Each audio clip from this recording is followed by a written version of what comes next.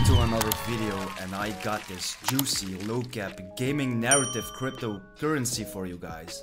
And it's on a 7 million in market cap and the name is QORPO World. The volume is up in the day, almost 70%, which makes it very bullish right now. I think it's been consolidating for a few days now. Um, it was a sell-off since the launch, but I think that this is a very good opportunity to fill your bags, no financial advice. What actually is QORPO? QORPO is a Web3 developer and gaming ecosystem, and they are dedicated to pioneering a sustainable token model through the introduction of the QORPO token. And the studio is committed to creating a diverse and comprehensive gaming environment with a focus on overcoming the limitations faced by tokens tied to individual games. Um, the QORPO token is a multi-purpose token that serves as the cornerstone of the QORPO world ecosystem, and it was launched through a TGE and is listed on major exchanges like Bybit, KuCoin and MEXC. So let's take a look at the site and I can tell you this is a very nice site. I think this will gain a lot of hype when uh, when the normies are coming in, buying this on a big exchange. So right now,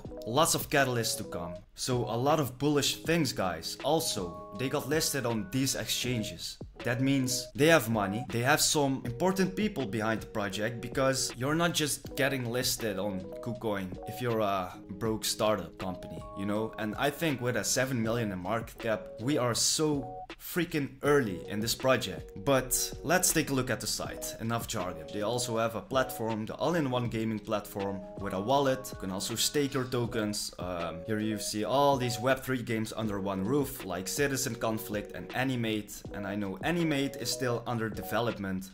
And if you want to play Citizen Conflict, you can download it and play it. So it's a working product. Looks very bullish. Also, let's take a look at the ecosystem. So join the ecosystem powered by bountiful rewards and sustainable economy. So yeah, it's a play to earn. You can stake. Uh, they have NFTs.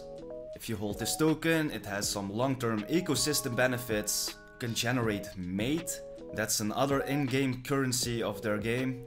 Uh, generate cash, and that's uh, the Citizen Conflict token. And also you can stake QORPO just to enjoy long-term benefits and ecosystem rewards. So uh, you can contribute to the ecosystem by participating in frequent tasks and get eligible for seasonal airdrop. And if you look at the team, the team is also doxed.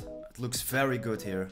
So yeah, it looks very good, showcased very well, uh, 60 plus team members in the company. Experience from Mafia, Horizon and PlayStation you know, so like I just said, the team isn't just a broke startup. I think this is a very legit project. This is a very nice opportunity to get it back. Also, they showcase their partners and you can see some very big names in the crypto industry.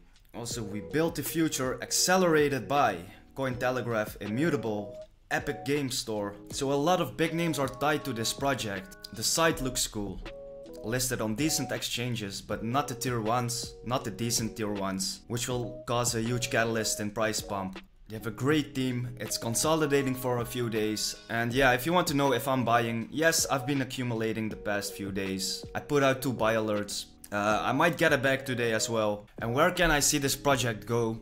Considering it's only 7 million in market cap, this could actually do more than 100x. No financial advice, that'll be 700 million in market cap without considering the token vesting. That'll, that will only be a 700 million in market cap. But if they play their cards right, I really think that this project could go to a 7 billion, which will be a 1000x. I'm not a financial advisor, I'm not going to say buy a bag. I am buying around these levels. I think it's a very good buying opportunity. So let me know what you think about this project and I'll see you guys in the next one and hit the like button.